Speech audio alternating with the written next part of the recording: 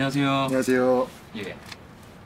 오늘 이렇게 함께 해주셔서 감사합니다. 아, 저도 영광입니다. 예. 야, 이 평소에 클라리네티스트 김우연 씨를 무대에서만 보다가 또 이렇게 테이블을 놓고 마주 앉으니까 감회가 새롭네요. 그렇습니다. 저도. 예. 왜 이렇게 쑥스러워하세요? 아, 조금 쑥스럽네요. 네. 아니 그, 그, 그 앞서 연주를 예, 두 곡을 네. 예, 하시고 이렇게 또 인터뷰 자리에서 만나뵙게 됐는데 지금 외국에 계시다가 네. 예, 오신 거잖아요. 네. 어, 좀 클라리네티스트로서 어떻게 살고 계신지 아, 예, 저는 최근 근황을 좀 말씀해 주십시오. 저는 이제 최근에 류베 국립음대 콘체르트 액자멧 최고 연주자 과정을 졸업하고 네, 이제 이제 드레스덴에서 Meisterklasse라는 이제 독일어로 번역하면 장인 클래스에 이제 들어가서 네. 또 새로운 학업을 이어가려고 합니다. 어, 독일에 현재 거주를 하고 네, 계시네요. 독일. 어, 그 아무래도 그 김우연 씨 하면은 또 무대에서 만났던 관객들도 있지만 이런 인터뷰를 시작하기 전에는 뭔가 그 연주자로서의 네. 어떤 이렇게 좀 대표적인 프로필들이 있잖아요. 네네. 예, 그걸로 좀 소개를 먼저 아, 터주시면 좋을 것 같습니다. 저는 어, 2013년 베이징 국제음악 콩쿠르에서 우승을 했고 이제 2014년 독일 마크놀키셴 국제 음악 콩쿠르에서 2위 없는 3위를 했고요. 한국이 최초. 네, 네. 그리고 2016년에 이제 클래식 윈드 그 이제 클라리넷과 색스폰을 위한 콩쿠르에서 음, 이제 클라리넷 부분 1위를 했고요. 네, 그리고 최근에는 이제 스웨덴 달라 심포니에타라는 오케스트라에서 부수석을 역임하고 활동을 하다가 이제 최근에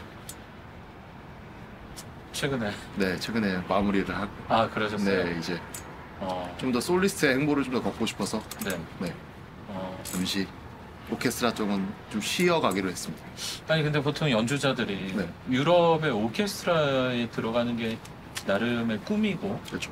그런데 어, 일단은 스웨덴의 이름이 달라 심포니에타. 예 달라 심포니에타 네. 예 거기에 입단을 하셨다가 나오게 된 어떤 뭐 본인의 뜻 같은 게 있을 것 같은데 어 뜻이라기보단 제가 오케스트라 안에서 이제 제가 플레이하면서 좀 행복하지가 않았어요. 너무 좀 스트레스를 더 많이 받았다고 생각이 돼서 네 좀 더 제 솔로 업적과 이제 제가 하고 싶은 이제 앙상블에 대한 좀 더 비중을 더 많이 두려고 음, 제가 이제 그만두게 되었습니다. 음, 제가 최근에 그 김우현 씨 관련으로 들은 소식은 네. 어, 좀 이렇게 멋진 앙상블을 하나 조직했다고. 아, 네. 저희가 이제 지난 6월 3일에 금호아트 올 연세에서 아템 앙상블이라는 이제 관악 앙상블을 창단했어요. 음, 아템, 네, 아템. 독일어로 숨이라는 뜻이고요. 숨. 네. 이제 플룻을 제외한 클라리넷 두 명, 오보에 둘, 호른 둘, 바슨 둘 이렇게 목관으로만 형성된 앙상블이고요. 음, 이제 저희 첫 번째 연주 때 이제 피아니스트 원재현 씨 함께 협연해 주셨고 네. 성황리에 잘 마무리했습니다. 아니 근데 보통 어, 목관악기 하면은 플룻이 그렇죠. 예 많이 떠올리는데 네, 맞아요. 왜 플룻을 굳이? 그러니까 이- 이번 프로그램에서는 좀 더 고전적인 곡을 위해서 그 고전 프로그램은 플룻이 그 편성이 안 돼 있거든요. 그래서 사실 첫 번째 공연에만 플룻이 없을 거고 이제 점점 2회, 3회 공연 때는 이제 플룻 플루티스트 분이 이제 함께 추가로 들어오실 예정입니다. 네. 남성들로만 구성된 아니, 앙상블은 아니고요. 네. 네. 다행히도. 네. 네.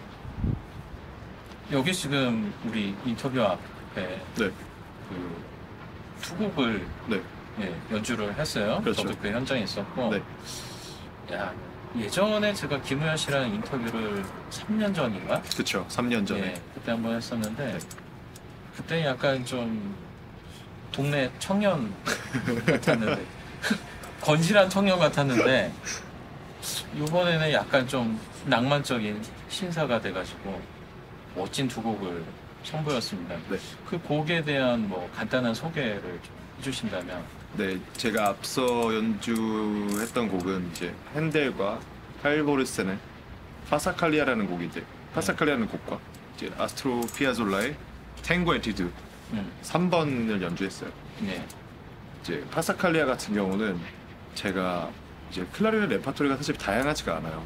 작곡가들이 물론 사랑했던 악기지만 그 사랑한 만큼 사실 곡을 썼던 것 같진 않아요. 그래서 뭐 대표적으로 저희는 라흐마니노프, 라흐마니노프 곡도 없고 차이콥스키 곡도 없고 다 편곡해서 불거나. 다 편곡해서 불고 네.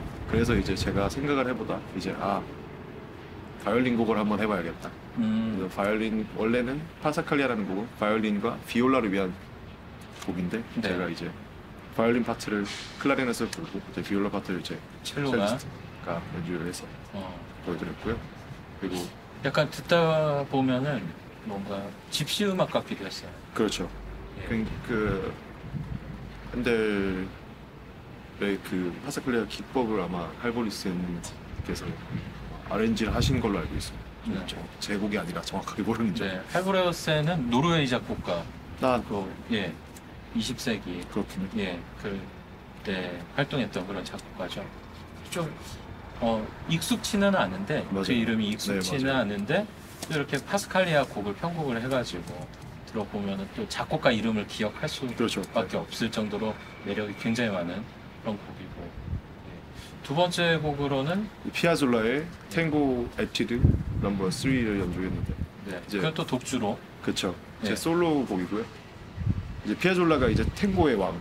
그 탱- 항상 탱고를 사랑했던 그 작곡가인데 네, 그 사람이 어떻게 하면 탱고를 좀 더 쉽게 전파할 수 있을까 해서 그 에튀드 연습곡이라는 곡을 썼어요 네. 이제 그 중에 이제 삼, 세 번째이네 넘버 3를 연주해봤습니다 음, 어 첼로랑 함께 했던 할보르센의 네. 어, 독주 무반주 독주로 연주한 이제 피아졸라 곡을 들려줬는데 어 뭔가 이제 오케스트라나 뭐 실내악 네. 혹은 피아노랑 같이 하지 않으면은 소리가 너무 적나라하게 들리니까 그렇죠 네. 부담되지 않아요.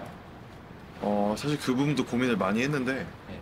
오히려 이제 혼자 보여줌으로써 이제 클라리넷이 좀 더 이렇게 아름다운 소리를 가질 수 있구나라는 음. 걸더 보여드릴 수가 있는 것 같아요. 혼자 할- 혼자나 이제 피아노나 음. 반주가 없이 하면 제가 이렇게 든 생각은 아 역시 김우현 씨는 천상 천상 독주자다. 네, 독주가 그러니까 오케스트라가 싫어서 어 그 스웨덴 오케스트라로 나온 게 아니고 독주가 좋아서 나온 거고. 그렇죠. 네. 그죠. 이번 곡도 남들과 함께 하는 게 싫어서 네, 그렇죠. 한 게 아니고 혼자 하는 게 좋아서. 혼자 하는 게 좋아서. 네, 그렇구나. 예. 어떻게 좀 그렇게 계속 혼자 활동을 하다 보면은 약간 좀 외로움 같은 것도 느끼실 수도 있고 그럴 것 같은데. 어, 오히려 저는 저한테 이제 더 집중이 되고 네. 이제 무대 위에서도 제가 좀 더 집중할 수 있는 상황인 것 같아요. 제가 혼자 솔로를 연주했을 때. 네. 그래서 사실 좀 더 편한 부분이 더 많아요. 음. 저, 저 같은 경우는. 예.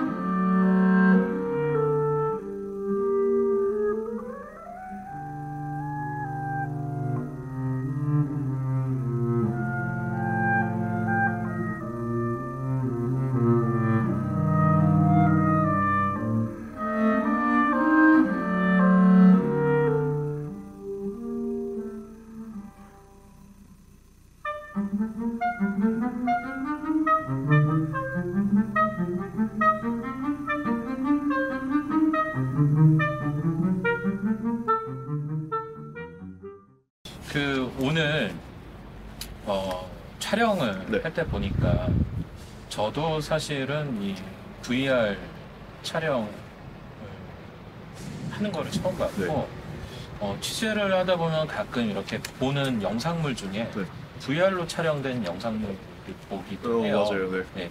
특히 오케스트라가 VR 촬영 기법을 통해서 이렇게 딱 녹화가 됐었을 때는 이제 커서로 움직이면 여러 가지 악기를 볼수아 있고 맞아요. 네. 그런 재미가 있는데 또 이걸 이렇게 직접 촬영하는 현장을 보니까 어, 조금 남다른 분위기인 것 같더라고요. 어 맞아요. 예, 카메라 배치도 다르고 네.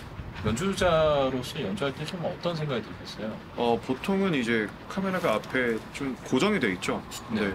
VR 촬영하는데 이제 감독님들이 이제 계속 움직이시면서 제, 제 주위를 360도 도시면서 촬영해 주시고 또 카메라 자체가 우선 이렇게 동그란 형태에서 이렇게 사방을 다 찍고 있어요. 음. 그래서 생긴 것도 되게 신기하고 좀 되게 특별하고 색다른 경험이었어요. 그 지금 아직 학업과 네. 어, 동시에 연주자로 네. 또 앙상블을 이끄는 리더로 활동하고 계신데 네. 앞으로의 좀 계획과 어, 지금 또 굉장히 다양한 그 무대와 레퍼토리로 여러 관객들과 만나고 있는데 네. 어떤 계획이 있으신지 우선은 제 앙상블로 이제 여러 가지 실험을 할 생각이고요. 아템 앙상블 네, 아템 앙상블 분들과 그리고 저 역시 저 솔로로 저뭐 바이올린 곡이라든지 뭐 첼로 곡이라든지 그런 악기들의 협주곡을 좀 더 이제 바꿔서 편곡을 해서 연주를 한번 해볼까 이제 그런 생각을 한번 해보고 있습니다. 예. 어, 클라리넷 네, 굉장히 많은 매력을 지닌 악기인데 네. 어, 복잡한 대답보다는 그냥 딱 한 단어로 그 악기의 매력을 표현한다면 뭐가 되나요? 색깔 색깔. 네. 어, 이유는?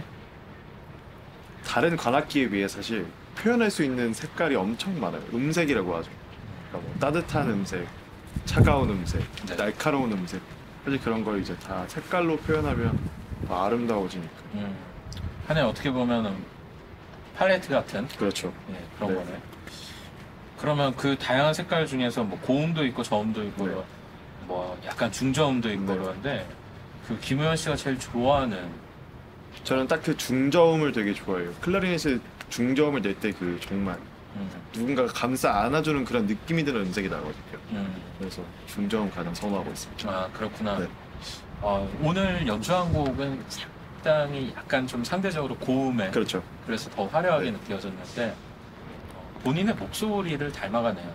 굉장히 그 우현 씨 목소리도 약간 중저음, 맞는 것 같아요. 네. 예, 느끼한 남자들. 좋습니다. 네. 예. 이렇게 멀리 독일에서 여기까지 와주셔가지고 오늘 좋은 연주와 인터뷰 정말 감사드립니다. 저도 영광이었습니다. 네, 감사합니다. 감사합니다.